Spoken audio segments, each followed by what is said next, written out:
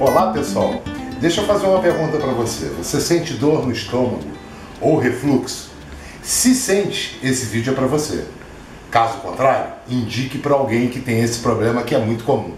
Sentir refluxo e dores e desconforto no estômago. É muito comum, principalmente por causa do sistema nervoso, ansiedade, né, dos dias de hoje. Então, a receita é muito simples e muito fácil, para você nunca mais sentir esse tipo de desconforto.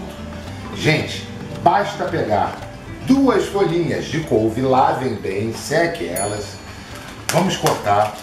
É, eu já, você já deve estar pensando assim, eu já sei o que, que ele vai fazer, vai bater no liquidificador com água. É, só que é o seguinte, tem gente que faz errado, porque isso aqui é muito amargo. Tá? Então as pessoas coam, as, as pessoas colocam frutose, né, que é o, o açúcar da, da própria fruta, porque o açúcar refinado é um veneno.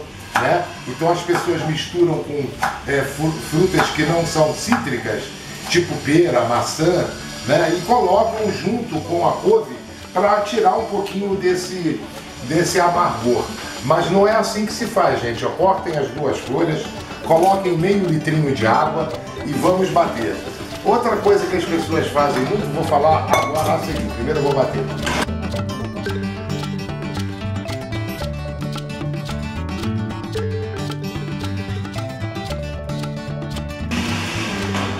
Pessoal, deixei bater bem por uns 4 a 5 minutos, tá? Aí o que, que a gente vai fazer? Mentira, nós não vamos coar nada. Isso aqui é uma brincadeira, peguei vocês. É sem coar, sem frutas, sem açúcar, pelo amor de Deus. É isso aqui que vai te curar. E como que eu tomo isso, Noca?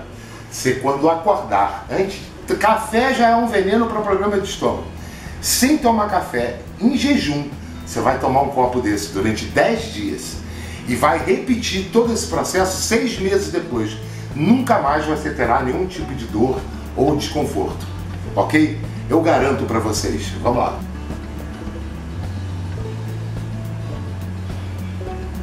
Ruim assim não. Isso vai curar a tua dor no estômago, o teu desconforto, o teu refluxo. Noca garante.